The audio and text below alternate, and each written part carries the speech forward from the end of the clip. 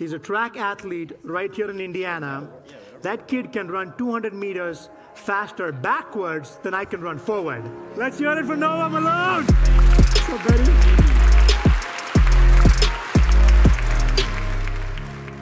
If a life-changing event does happen, positive or negative, your goals should not change at all. Your goals should not change. Well done, Noah Malone.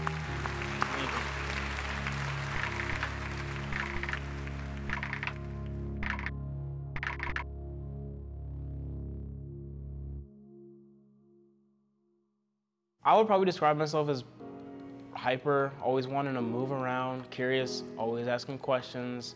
You know, I would love to be outside and run around with friends. That's probably, that's how track started because my mom saw me running around in the backyard. You know, just like in terms of just kids racing, you know, outside and, you know, he's like, oh, okay, well, maybe you should try track. He started, um, I would say, distancing himself from his, his colleagues. He qualified for his first junior Olympic meet, and we drove to uh, Greensboro, North Carolina. He didn't advance, but he walked off the track, and the first thing he said was, I did it. That was really the beginning of Noah gaining confidence. It was a junior Olympic track meet in Jacksonville.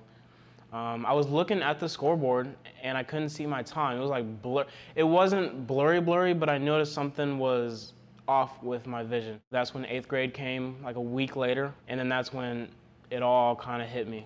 We were thinking, you know, as, as parents that, oh, he needs glasses.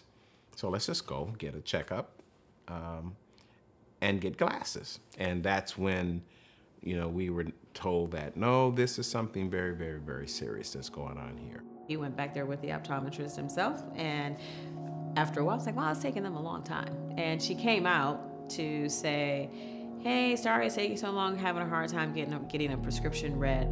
At that point, it was kind of like, this is weird. Like, if an eye doctor at here doesn't even know what to do, like, that's kind of scary. But that specific night coming home, it was hard. I, it was kind of hard for not just me, but for my family though, because they knew what was going on, but I, I didn't really fully understand at that time. I probably hit my parents and parents a little bit harder than it hit me. Yeah. The condition I have is called Leber's optic hereditary neuropathy. It is a deterioration of the optic nerve, which is why it's so difficult sometimes for people are like, well, just get them glasses and it'll be fine. It's like, well, the problem isn't from the eyeball to the outside world. It is from the brain to the actual eyeball, and those lovely little optic nerves aren't doing what they need to do. What it really does is it strips away most of my central vision and leaves me with my peripheral vision. My right eye is the worst eye, it's 20 over 600, and then my left eye is the better eye. It's like 20 over 400. The, the reaction for me was, it, it was more of a helpless feeling because I wanted to say, can, you know, take my vision. I wanted him to have full access to, to life.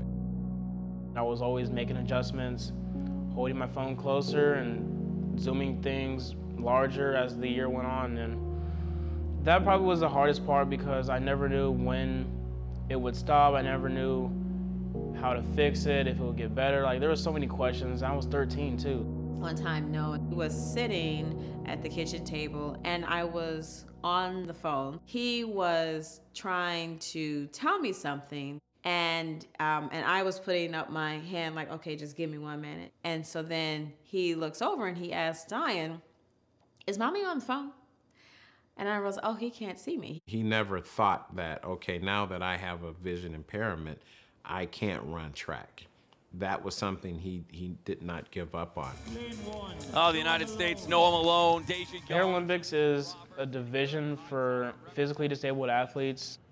My first international meet was in Notwil, Switzerland, and that was for the Para Junior World Championships. And like two weeks after that was the the Para Pan Am Games in Lima, Peru. All right, the Universal 4x100 underway and a great start by Noah Malone. Noah Malone about to take things over. So the 100, I'm ranked second in the world for T12.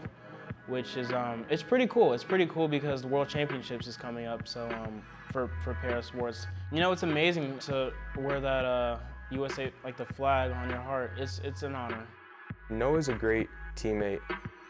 I looked up to him my seventh and eighth grade year. I was always inspired by his races. He has incredible work ethic. You know, it just goes to show where he is now.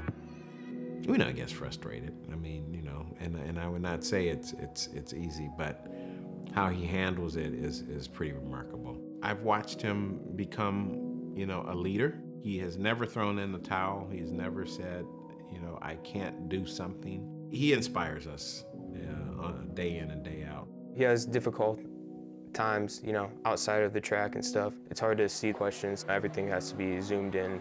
Hallways can be an issue, but when that gun goes off and he's running, I mean, he, he's got 20/20 vision on the track, you know.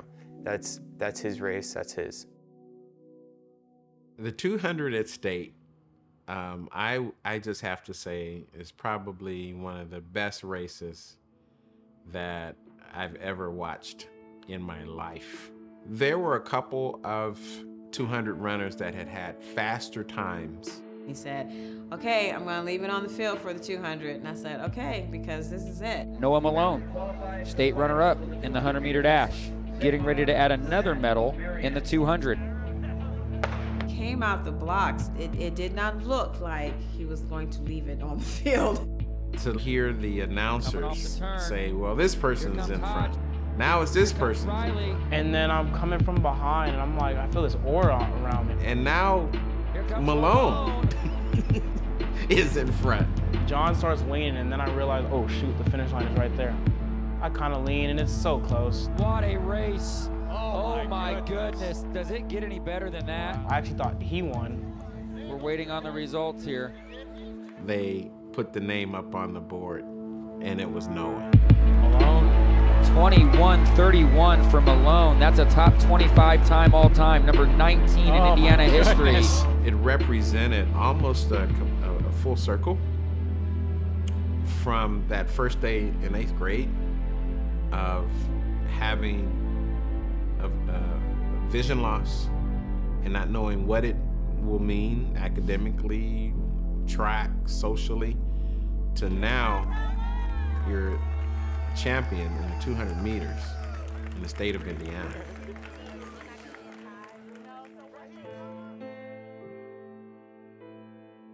Noah's vision in track and field is, um, yeah, there's there's no impairment there.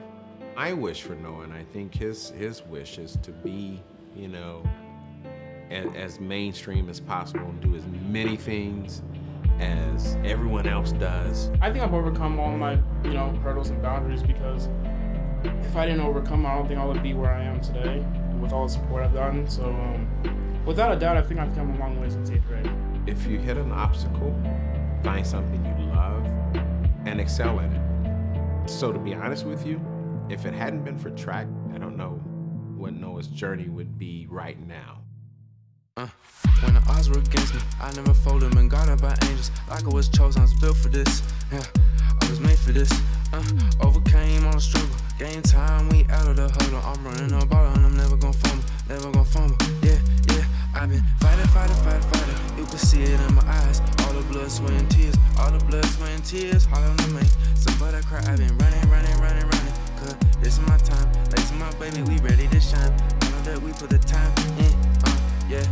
they saying, what they saying, what they saying, I can't hear you, I can't hear you, yeah, I've been in my zone, don't nobody own me, yeah, and they gonna know me, yeah, I ran it up, ran it up, yeah.